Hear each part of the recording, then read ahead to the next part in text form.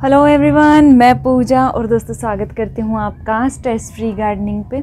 आज मैं आपके साथ शेयर करने वाली हूँ इंग्लिश आईवी की, जिसको वैक्स आईवी भी बुलाते हैं, इसकी रीपोर्टिंग और केयर हालाँकि इस पर वीडियो ऑलरेडी है कंप्लीट लेकिन उसमें रीपोर्टिंग कर कर नहीं दिखाई गई है।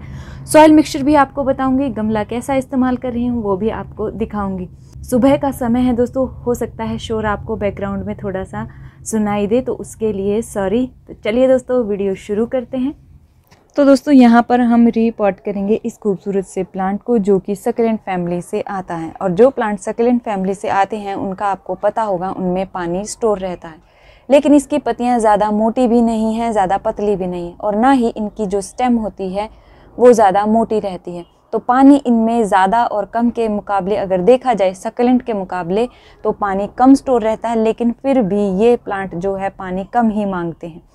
पानी और अगर मिट्टी का बैलेंस इनमें अच्छा बना लेते हैं तो ये प्लांट चलते हैं। सर्दियों में ये प्लांट काफ़ी खूबसूरती से बढ़ता है, लेकिन गर्मियों में थोड़ी प्रॉब्लम क्रिएट होती है मई, जून के महीने में।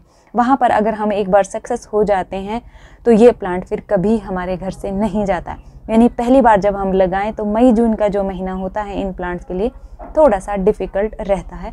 तो चलिए पहले बात करते हैं सॉयल मिक्सचर की।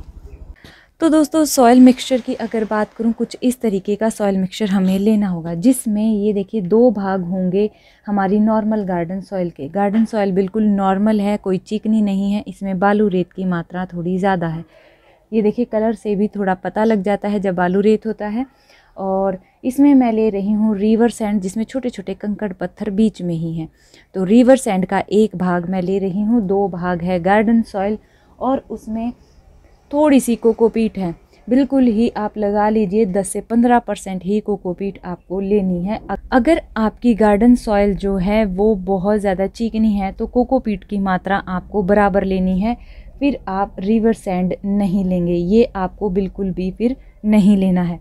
और इसमें पंद्रह परसेंट तक ही आप लगा लीजिए, मैं ले रही हूँ वर्मी कंपोस्ट की। देखिए, बिल्कुल बनी हुई खाद है, बिल्कुल ही इस तरीके की है, काला सा रंग हो जाता है जब खाद जो है बहुत अच्छी बनी होती।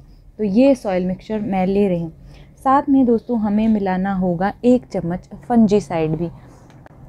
फंजी साइड ज़रूर मिलाइएगा क्योंकि इसकी जड़ों में फंगस का अटैक बहुत जल्दी होता है, इसलिए हमें फंजी साइड ज़रूर लेना होगा।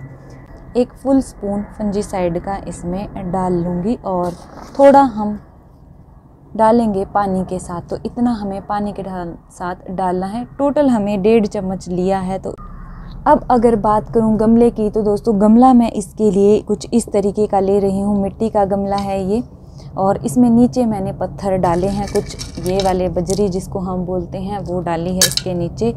और अब हम इसमें रिपॉट करेंगे। गमले का साइज़ जो है, आप देख लीजिए, ज़्यादा बड़ा नहीं है, इससे बड़ा गमला हमारा नहीं है। तो साइज़ आपको पता लग गया होगा। देखिए, ये गमला जो है थोड़ा भुर रहा है, इसको पेंट की ज़रूरत है। खैर दोस्तों, मिट्टी का गमला अगर आप लेंगे किसी भी सकेलेंट के लिए तो बहुत अच्छा काम करता है। तो ये गमला मैं इसके लिए ले रही हूँ। गमले का साइज़ करीब करीब आप देख सकते हैं छः इंच, सात इंच के आसपास ही है, इससे बड़ा नहीं है।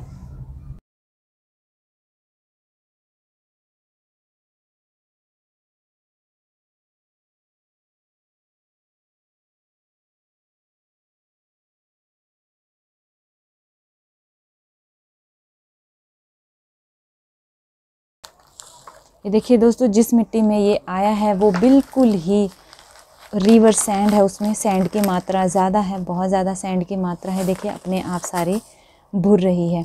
तो इन्होंने भी रिवर सैंड की मात्रा इसमें बहुत ज़्यादा ले रखी है। तो सॉयल मिक्सचर इसका काफ़ी अच्छा है, अपने आप गिर रहा है। तो इसकी टेंशन नहीं रहेगी।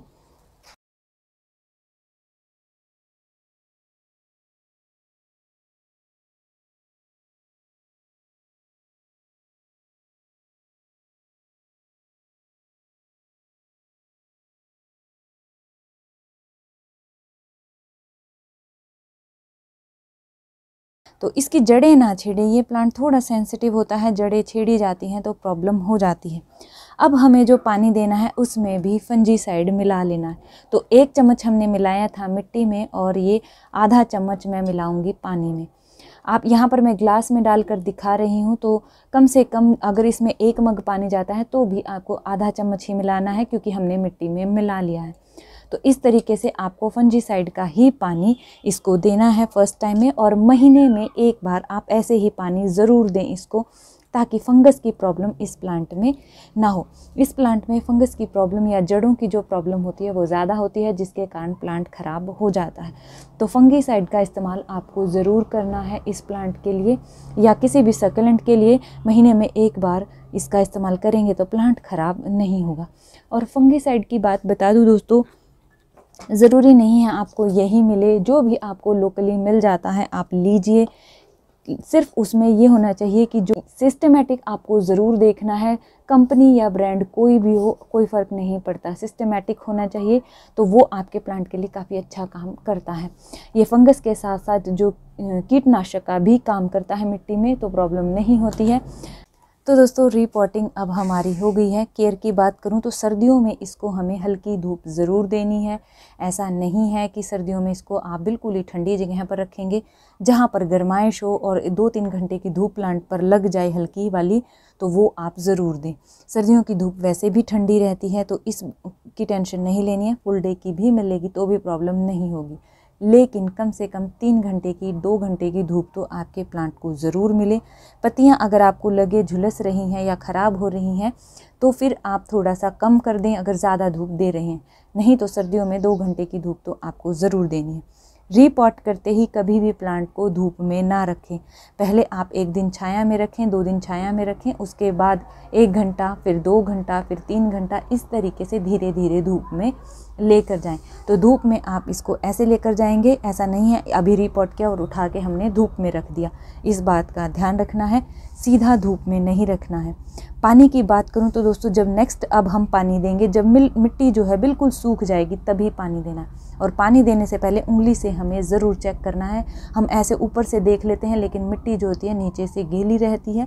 पानी ज़्यादा होते ही ये प्लांट ख़राब हो जाता है। तो पानी ज़्यादा हमें नहीं करना है, इस बात का ध्यान रखना है। महीने में एक बार फंजीसाइड का पानी हम देंगे, और इंसेक्टिसाइड का स्प्रे भी आप ज़रूर करें। इसके पत्तियों के पीछे किसी न किसी तरह, तरीके के इंसेक्ट्स का अटैक भी हो जाता है उसके लिए।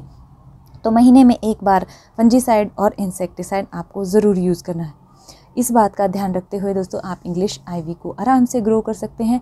गर्मियों में आप इसको शेड दें, ऐसा नहीं है कि गर्मियों में भी धूप दें। गर्मियों में शेड मिले इस प्लांट को, लेकिन नेट की छाया मिलेगी, ज़्यादा अच्छा रहेगा, यानी डबल नेट के नीचे आप इसको रख सकते हैं। इंडोर अगर रखेंगे तो ये प्लांट इतना खूबसूरती से नहीं बढ़ता है। हालाँकि माना जाता है कि इंडोर का ये प्लांट है, लेकिन किसी विंडो के पास आप रख सकते हैं।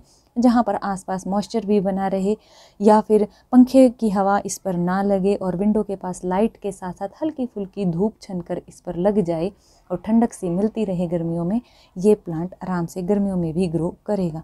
दोस्तों, इस तरीके से आपको रिपोर्टिंग करनी है और सॉयल मिक्सचर लेना है। गर्मियों में थोड़ी सी देखभाल अगर कर लेते हैं, यानी पहला साल गर्मी का इसका निकाल लेते हैं, फिर ये प्लांट आपके गार्डन से कभी नहीं जाता है।